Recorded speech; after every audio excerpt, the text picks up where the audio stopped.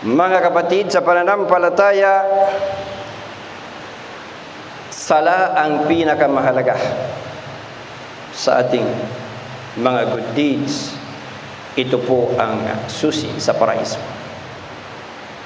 Sinabi ng Propeta Muhammad sallallahu alaihi wasallam sa kanyang hadith, As-salatu miftahul jannah. Sala ang susi sa paraiso.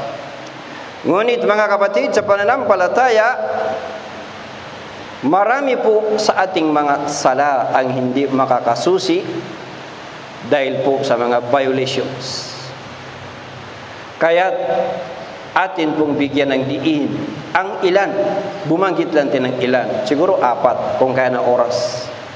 Ilan sa mga violation sa sala na kapag ginawa mo wala ka ng sala. Tandaan natin mga kapatid sa pananampalataya na sala ang ating pasaporte sa paraiso. Sinabi mismo ng Allah subhanahu wa ta'ala sa banal na Quran, A'udhu billahi minas shaitanir rajim. والذين هم على صلاتهم يحافظون malapit-lapit na pagkahulugan at ang mga yauna iniingatan nila ng husto ang kanilang mga sala iniingatan mo ng husto ang mga sala na wala mga violation Ulaika fi jannatin mukramun. Sila ang mga yaon na mananahanan sa paraiso ng mararangal. Mga kapatid sa pananampalataya, kasama riyan sa requirement ng sala ay kailangan magsala tayo hindi sa paraan nino man kung ang kanyang paraan ay wala sa paraan ng sunnah. Kinakailangan magsambayang tayo sa paraan papaano nagsambayang si Propeta Muhammad sallallahu alaihi wasallam. Sallu kama ra'aytumuni usalli. Magsala kayo na katulad nakita ninyo na aking pagsasala. So ito mga kapatid sa pananampalataya ang pakaingatan natin dahil babanggitin natin ang apat sa mga major violations na po pwedeng mawala ng saysay ang iyong sala. Number one, violation. Napakaraming gumagawa nito. Inuunahan mo ang imam. Magruko. O kaya magsujud. O kaya bumangon. O kaya umupo. O kaya magtaslim. Magsalam. Lumingon. Kapag inunahan mo ang iyong imam, hatul fatwa ni Imam Ahmad bin Hanbal na wakabagan siya ng Allah. So itong iisa-isain natin ang mga violation ang nagbigay ng hatol malalaking ulama. Mga scholars. Hindi po tayo nagbibigay ng fatwa, ng fatwa. Ang sa atin, iparating lang sa inyo ang kanilang mga fatwa. Ang kanyang hukom, haram na unahan ng ma'mum ang imam. So pansinin po natin, marami sa atin, lalo na sa pangalawang sujud, yung unang sujud ng imam galing sa tayo, pag sujud nauuna siya. Ngunit yung mula sa upuan, susujud ng pangalawa, karamihan sa mga masjid, more than 85%, makikita mo, mas nauuna ang maamum. Lumapat ang noo sa sahig bago lumapat ang noo ng imam. Wala kang sambayan. Mga kapatid sa pananampalataya, ikaw, kapag inunahan mo ang imam, umangat naman ang ulo. Marami sa atin na hindi pa nakakaangat ang ulo ng imam, lalo na kapag mabagal yung imam. Sasabihin pa lang niya, halimbawa aangat mula sa upuan, mula sa sujud, sasabihin pa lang niya, Allahu Akbar. Sa kalagitnaan pa lang siya, umangat ka na. Hindi pa siya nakakaangat, umangat ka na. Kapatid sa pananampalataya, papalitan ng Allah ang iyong mukha ng mukha ng kabayo Or papalitan ng Allah ang iyong mukha ng mukha ng aso sa kabilang buhay. Katibayan, ang hadith ni Muhammad sallallahu alaihi wasallam. An Abi Hurairah radhiyallahu an عن النبي صلى الله عليه وسلم قال أما يخشى أحدكم أو ألا يخشى أحدكم إذا رفع رأسه قبل الإمام أن يجعل الله رأسه رأس حمار أو يجعل الله سورته سورة حمار ما لابد لابد تبقى هلو كان إشنا لا إشنا أبو رضي الله عنه عن بربيت محمد صلى الله عليه وسلم أي نقصابي ما لابد لابد hindi ba siya natatakot? Siya na mas nauunang mag-angat ng ulo kaysa sa imam. Napalitan ng Allah ang kanyang ulo ng asno. Asno, ibig sabihin ng asno, maliit na kabayo. O ang kanyang mukha gawing isang asno, Sahih Al-Bukhari. Mga kapatid sa pananampalataya, sa isa pang hadith, papalitan ng Allah ang mukha ng mukha ng aso kapag inunahan mo ang imam. So marami po sa atin na inunahan nila, dapat pakinggan mo yung bar. Pag sabi niyang Allahu Akbar, pag sabi niya ng bar, saka ka kikilos. Ang mga kasamahan ni Muhammad sallallahu alaihi wasallam kapag nakita nila na lumapat ang noo ng propeta Muhammad sallallahu alaihi wasallam sa sahig saka lang sila kumikilos. Sa atin mga kapatid sa pananampalataya, pansinin ninyo, pangalawang sujud ng imam, mas marami ang nauuna lumapat sa sahig. Wala ka ng salah major violation. Wala ka ng sambayan. Kinakailangan din na maintindihan natin na mayroong mga ma'mum na umupo na yung imam, nagtatahayat na yung imam, nakasudyod pa rin siya at nagdudua. Hindi bawal magdua.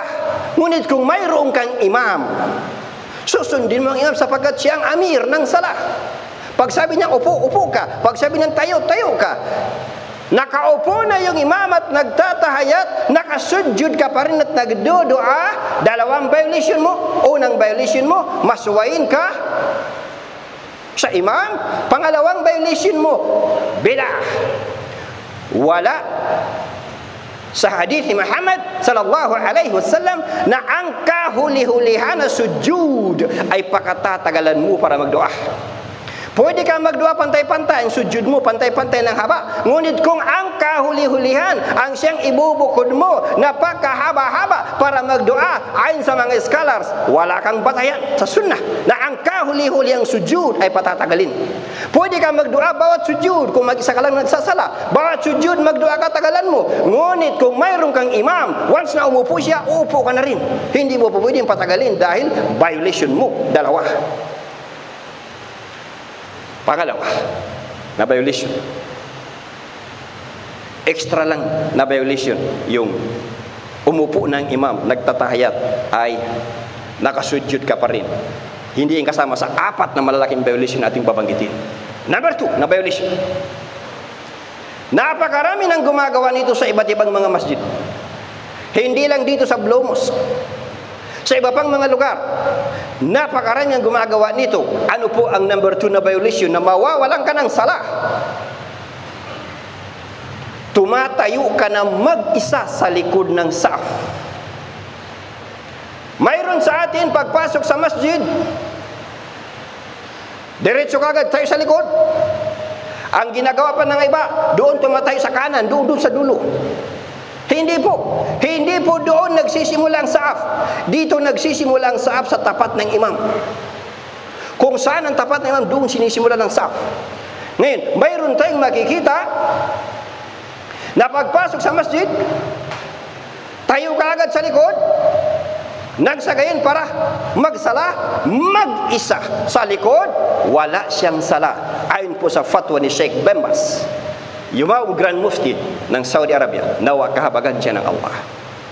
Ayon sa kanyang ruling, haram na tumayo kang mag-isa at marami ang gumagawa nito, tumatayo ng mag-isa.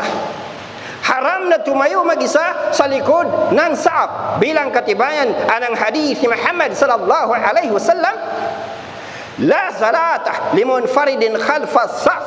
Walang sala ang nagsasala mag-isa sa likod ng saf. Authentic na hadith mga kapatid sa panampalataya, katibayan pa na wala kang sala. Minsan nakita ni Propeta Muhammad sallallahu alaihi wasallam ang isang mama na nagsasambayang sa likod ng saf mag-isa. Inutusan niya na ulitin ang kanyang sala. Yan ang katibayan na wala siyang sala. Bakit na inutusan yung mama na ulitin ang sala? Ganon din ang mga sahaba. Kapag may nakita sila na nagsasambayang mag-isa, sa likod ng saap, inuutusan nila ulitin magsambayang dahil wala siyang sala. So mga kapatid sa pananampalataya, ano ang gagawin? Pag, pagpasok ng masjid, Abay, hara, hanap ka ng masisingitan mo. Unang opsyon. Hanap ka ng masisingitan mo, wag na wag kang tumayo. Or, pangalawang opsyon, maghintay ka ng darating. Para maging dalawa kayo. Huwag kang tatayo mag-isa. Dahil kapag tumayo ka mag-isa, wala kang sambayan. Paano kung walang darating na pangalawa mo at wala rin masisingitan? Bay sa panahon po natin ngayong COVID, ang luwag-luwag, ang dali-dali sumingit. Halimbawa hindi COVID. Normal. Wala kang masisingitan, dikit-dikit. Plus, walang darating, maging pangalawa mo, anong gagawin mo? Ayon sa fatwa ni Sheikh Bembas, kabagannawa ng Allah. Pwede kang tumayo sa kanan na tagiliran ng imam. Tumayo ka sa kanyang kanang tagiliran. Pwede. Ayon sa kanyang hatol, huwag mong gawin yung ginagawa ng iba na kakalabitin, yung nasa huli, para umatras. Ayon sa kanyang ruling, ito po ay sisirain ang perfection ng sala na dikit-dikit. Dikit-dikit. Pero dahil dahil ngayon sa may coronavirus, lahat ng ulama sa buong mundo halos nagkakaisa. Na distance, social distancing. Another kaso yan, another topic yan. Minsan yung natalakayin natin, social distancing sa salah. Okay. Pangatlong violation na pinakamaraming gumagawa. Ito ang violation na pinakamarami ang gumagawa mga kapatid. Tumatawid sa harapan ng nagsasala. Makikita mo yung mama, gustong gusto sa harapan magsala, pagkasalam ng imam, tayo kagad, walang pakialam, tinatawid. Minsan nakapila pa yung mga tumatawid. Makikita mo may nagsasala doon, pila-pila sila ng mga tumatawid. Allahu Akbar! So, ano ang ruling? Nagbigay ng ruling Sheikh Bambas at ng The Permanent Committee ng Saudi Arabia. Permanent Committee, grupo ng pinakamalalaking ulama. Ano po ang kanilang ruling? Tumawid sa harapan ng nagsasambayang. Napakarami sa atin ang walang pakialam. Tawid lang ng tawid. Ang kanilang ruling, haram na tumawid sa harap ng nagsasala ayon sa hadith ni Muhammad sallallahu alaihi wasallam. Law ya'lamul mar baina yadayil musalli madha alayhi lakana an yakifa arba'ina khairan lahu min an yamurra baina yadayhi. Malapit-lapit na pagkahulugan. Kung alam lamang ng yaong tatawid sa harap ng nagsasala ang kasalanan na kanyang magagawa kung alam mo lamang kapatid, gaano kabigat ang kasalanan na magagawa mo kapag tumawid ka sa harap ng nagsasala. Ulitin natin yung hadith. Kung alam lamang ng isang tatawid sa harap ng nagsasala, ang kasalanan na kanyang magagawa ay maghihintay siya ng 40. Ayon sa mga scholars, 40 years ang tinutukoy rito. Maghihintay siya ng 40 at yan ang mas mainam para sa kanya kaysa sa tumawid sa harapan ng nagsasala. Sahih Al-Bukhari, Sahih Muslim, pinaka-authentic na hadith. Mga kapatid sa pananampalataya, bakit harap? Dahil yung tinawid mo, wala nang gantimpala ang kanyang sala dahil sa iyo, saan ka kukuha ng pambayad? Ilan na ang natawid mo ng mga nagsasambayang mula noon? na wala kang pakialam, tawid na ng tawid. Sabi nga natin, mayroong pinsan pa, makikita mong malaking masjid, mayroong nagsasala doon, wala sila madaanan, kaya hintay sila, nakapila sila, nakapilang tumatawid. Makikita mo yan sa mga malalaking masjid, lalo na kapag Friday. Unahan ka agad ang labas. Allahu Akbar ang sala noong mama ang gantimpala ng kanyang sala ay wala ng saysay. Ayon kay Sheikh Bembas ngayon gaano ba kalayo ang pwedeng tawirin? Sinukat nila at ikinumbert nila sa inches. Ang layo na pwede mong tawirin 54 inches 54 pulgada yung tatlong cubits Itong mga sadyada natin, karamihan dito 48 pulgada. So ang pinaka bottom line, pag abutin mo, kaya mong abutin yung mama, huwag kang tumawid. Yan ang pinakasimple na paliwanag. Huwag kang tatawid dahil masisira ang gantimpala ng kanyang sala. Sunna, kabahagi ng sunna ng sala na kapag magsasambayan ka, maglagay ka ng sutra sa harapan mo. Halimbawa, upuan. Ano man ilagay mo sa harapan mo, upuan, bag, ano man, libro, whatever. Na palatandaan na bawal tumawid sa pagitan mo at ng sutra, upuan. Kung mayroong tatawid sa likod ng sutra, walang problema. Ngunit pagitan ng sutra, tatawirin mo, mga kapatid sa pananampalataya, masisira ang gantimpala ng kanyang sala. Ngayon, ano naman ang tatawid? Ito ang tandaan natin. Ano naman ang tatawid na kapag ito ang tumawid, wala ka ng sala. Babae. Alam mo, ang misis mo. Malit na kabayo, donkey, asno. O kaya asong itim. Isa man ang tumawid rito na nagsasala ka, invalid, kailangan ulitin mo ang iyong sala. Halimbawa, nasa bahay ka nagsasala. Tapos, nagring yung telepono. Tapos yung kasambahay ninyo, o kaya misis mo mismo, tumawid sa harapan mo, sa distansyang abot mo, tumawid sa harapan mo, wala ka ng sala. Ulitin mo ang iyong sala. So ito mga kapatid ay may katibayan anang hadith Muhammad sallallahu alaihi wasallam. يقطع يقطع صلاة المرء المسلم إذا لم يكن بين يديه مثل مؤخرة الرحل المرأة والحمار والكلب الأسود ang sala ng isang lalaking Muslim ay nawawala ng saysay ng isang babae o isang asno o isang asong itim kapag walang nakalagay sa kanyang harapan na siya ng kamilyo. Ibig sabihin, sutra. Kung wala kang nakalagay sa harapan mo, halimbawa upuan or whatever, pangharang, at tumawid ang babae, misis mo o kaya nagsasala ka sa labas, tumawid ang asong itim. Halimbawa, nagsasala ka sa disyerto. O kaya nagsasala ka sa luneta. Yun ang, yun ang, yun ang mga problema. Nagsasala sa luneta. May mga nagja-jogging. Tumawid sa harapan mo, babae, nagja-jogging. Wala ka ng sala. Mga kapatid sa pananampalataya, authentic na hadith. Bakit asong itim? Bakit hindi asong puti? Asong pula? Dahil ang asong itim po ay syaitan. Anong hadith? Al-kalbul aswadu syaitan. Ang asong itim ay demonyo, syaitan. Ngayon, itong mga nabanggit sa taas, ulitin natin, kapag ang tumawid sa harapan mo ay lalaki, katulad mong lalaki, mawawala ng saysay ang gantimpala ng iyong sala, ngunit kung ang tumawid sa harapan mo ay babae, o kaya asno, o kaya asong itim, wala ka ng sala, kailangan mong ulitin ang iyong prayer. Kapag ikaw ay nagsasala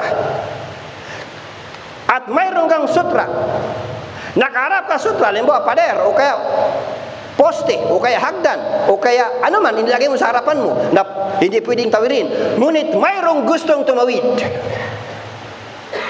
Harangin mo ng kamay. Kapag ayaw magpaharang, mayroong mga minsan, mga tao na hinaharang mo, ayaw magpaharang, pinipilit pa rin tumawid makipaglaban ka. Dahil itong tatawid na ito ay demonyo. Katibayan. إذا صلى أحدكم إلى شيء يستره من الناس فأراد أحد أن يستاج بين يديه فليدفعه فإن أبى فليقاتله فإنما هو الشيطان malapit-lapit na pagkahulugan. Kapag sino man sa inyo nagsasala sa harap ng isang bagay na umaarang sa kanya, bisbin sutra, sa harap ng sutra, at mayroong gustong dumaan sa kanyang harapan, dapat niyang pigilin. Ngunit kung ayaw magpapigil, makipaglaban ka. Dahil ito ay demonyo. Sahih al-Bukhari, Sahih Muslim, authentic na hadith. Mga kapatid sa pananampalataya, sa iba pang rulings ng mga scholars, mayroon pa silang ruling na suntukin mo, sapakin mo, anumang gawin mo sa isang tao na pinipigilan mo tumawid pero ayaw magpapigil tumawid. Kaya kinakailangan maintindihan mo, mawawala ng saysay ang insala or mawawala ng saysay ang gantimpala ng insala. Kaya kinakailangan, alis to ang mga Muslim, wag na wag tayong tawid ng tawid sa mga nagsasala. Saan ka kukuha ng pambayad mo? Sa kabilang buhay. Pang-apat po, last na lang na violation. Marami pang violation, pero walang panahon. Pang-apat na lang, last na violation. Nagsasalita habang nagkukhutba ang imam. Nagsisilpon, maamo, man tinutukoy, maamo. Habang nagkukhutba ang imam. Kapatid sa pananampalataya, ang imam, kahit anong hawakan ng imam, pwede. Aklat, libro, Quran, cellphone, notebook, papel, basta doon niya binabasa ang ganang khutbah, wala, hindi, hindi bawal sa kanya. Exemption. Ngunit ang ma'mum, bawal ka mag-cellphone-cellphone, bawal ka mag-selfie-selfie, ba- anumang gagawin mo, magdidikar ka, magtatasbik-tasbik ka, ito po ay ipinagbabawal. Nagbigay ng hukum, Shaykh Ibn Jibrin, nawag kabaga ng Allah. Ayon sa kanang ruling, obligado ang ma'mum na maging tahimik habang binabasa ang khutbah. Kapag binabasa ang khutbah, haram para sa ma'mum, pati na mag-utos ng mabuti, haram pati na magbawal ng masama para sa ma'mum. Halimbawa, sasabihan mo lang yung katabi mo. Halimbawa, anak mo. Anak, huwag ka maingay. Nagkukutba. Wala ka ng sala. Sinabihan mo yung katabi mo, bro, huwag kang maingay. Wala kang nang sala. Abay, ang ginagawa ng mga tao ngayon, galing sa labas. Dire-diretso. Assalamualaikum mga aki. Waalaikum aki. Kumusta? Matumal. Wala na kayong sala. Ano pang sala ninyo? Magsalita ka lang. Magbawal ka lang ng masama. Ikaw na maamum. Habang nagkukutba ang imam, invalid na ang iyong sala, katibayan. Anong propeta Muhammad sallallahu alaihi wasallam? إذا قلت لصاحبك أنصت يوم الجمعة والإمام يخطب فقد لغوت Kapag sinabi mo, huwag kang maingay. Sa katabi mo, kapag biyernes, habang ang imam ay nagkukutbah, pinawalang saysay mo ang iyong sala. Ininvalid, walang kwenta ang iyong sambayang kapatid sa pananampalataya. Ngayon, marami sa atin dito na habang nagkukutba, nagpe-Facebook, nag-YouTube, bumabasa ng messenger, nagte-text, mayroon pang nakikipag-hello. Sa labas, lalo na sa labas. Hindi ka pumapasok. Hinihintay mo ikamat. Sa labas, lahat na makita mo, hello, kumusta? Text ka ng text. Wala ka ng sala. Invalid na ang iyong sala. Walang kwenta ang iyong pagpiprayer. Ganon din sa mga sister. Nagme-makeup, makeup. Nagsasalamin-salamin. Nag-selfie-selfie.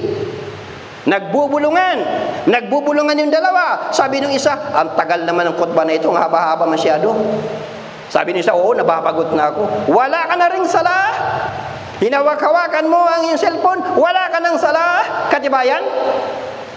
Waman massal hasa faqad laga. Sino man ang humawak-hawak sa isang bato ay pinawalang saysay ang kanyang sala. Mga kapatid sa pananampalataya, mayroon pang nagtatawanan. Minsan may makikita ka na nagkukutba na nagko-comedy. Patawa. Pinapatawa niya ang audience. Pinapatawa niya ang jamaa. Allahu Akbar. Kapag ikaw ay tumatawa, humahalakak, wala ka na rin salah. 52 Fridays, tandaan mo bawat taon. Gregorian calendar, 51 Fridays, Hijri calendar, bawat taon. Kung lahat ng Friday mo ay useless, Allahu Akbar, Subhanallah. Barakallahu li wa lakum fil Qur'anil azim. Wa nafa'ani wa iyyakum bil ayati wa dzikril hakim. Wa taqabbala minni wa minkum tilawatahu innahu was samiul alim.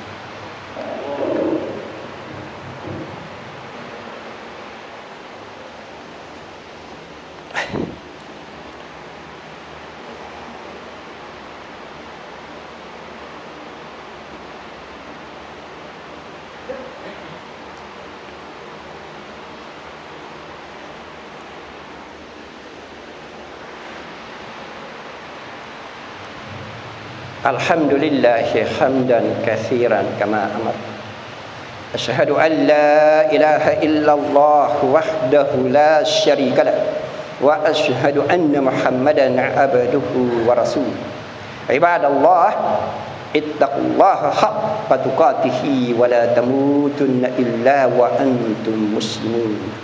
Mga kapatid sa panan palataya Lahat muslim. Pag sumikapan nating mabuti, nabubuhay ka na Muslim. Kung datnan ka man ni malakal maut, mamamatay ka na Muslim pa rin. Marami na ang namaalam nitong panahon ng COVID. Isa sa mga sukatan ng pagiging Muslim, kasunod ng syahada, ay salah. Salah, salah. Kapag wala kang sambayang na five times a day, hindi Friday sambayang lang. Kapag wala kang sambayang limang beses araw-araw, lifetime, masakit sa tenga. Masakit sa tenga. Pero totoo, kailangan bigkasin natin. Hindi ka, hindi ka Muslim. Kafir. Hindi ako ang nagsabi. Ang nagsabi hadis. Basa. العهد الذي بيننا وبينهم الصلاة فمن تركها فقد كفر. حديث عن الكسابي. بناس أقول لك. عن كيف بحان سبقى تناتنا تلا أي عن صلاة. شينمان عن إيوانا نتو. شيا أين كافر؟ وتنتقنا حديث. Hadis At-Tirmidhi, hadis Ahmad. Mga kapatid sa pananampalataya, pag sumikapan ng bawat isa sa atin na nabubuhay siya ng Muslim, anumang oras dat ng kanimalakal maut, mamamatay ka ng Muslim pa rin. Dahil hindi lang kafir, hindi lang kufur, pati na shirk, magiging musyrik pag hindi nagsasala, katibayan, basa, Baina rajuli wa baina syirki wal kufri tarkus salah sa pagitan ng tao at ng kufur. Kawalan ng sampalataya. At ng shirk, pagbibigay ng katambal sa Allah ay ang pag-iiwan ng salah. Sahih Muslim, authentic na hadith. Ulitin po natin. Sinabi natin sa umpisa. Sala ang susi sa paraiso. Lahat tayo gustong maparaiso. Sino ba naman ang hindi gusto? Sala ang susi. Sinabi ng hadith. Ulitin natin yung hadith. As-salatu miftahul jannah. Susi. Sala ang susi sa paraiso. Ngunit maraming, maraming sala na hindi makakasusi dahil puno ng violations. Kapag hindi ka makakapasok sa bahay mo dahil wala kang susi, tinitingnan mo lang yung bahay mo. Hindi ka makapasok. Ganoon din sa paraiso. Nakikita mo yung pagkalaki-laking mansion. Inihanda sa ng Allah subhanahu wa ta'ala. Hindi ka makakapasok dahil puno ng violation. Apat lang yan sa malalaking violation. Marami pang mga violation. Na dapat natin maintindihan bilang mga Muslim na nagsusumikap na nabubuhay na Muslim, mamamatay na Muslim.